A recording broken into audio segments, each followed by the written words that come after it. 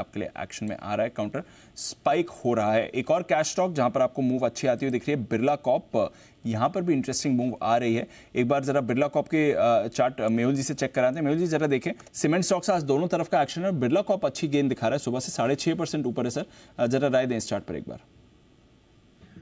हाँ, हाँ, दीपांशु देखिए ब्रेकआउट तो बहुत ही अच्छा है। 1630 के ऊपर ये ब्रेकआउट आया तकरीबन।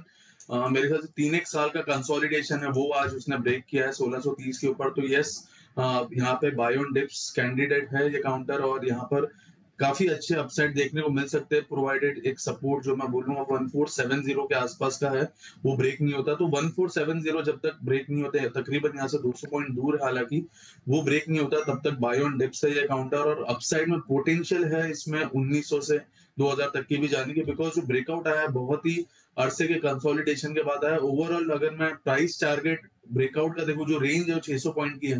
तो 1600 से हम 600 पॉइंट भी अगर अपसाइड देखते तो काफ़ी बड़ा अपसाइड हो सकता है। तो टाइम लगेगा क्योंकि चार साल का कंसोलिडेशन है but yes buy on dips counter है, अभी बिरला का। नज़र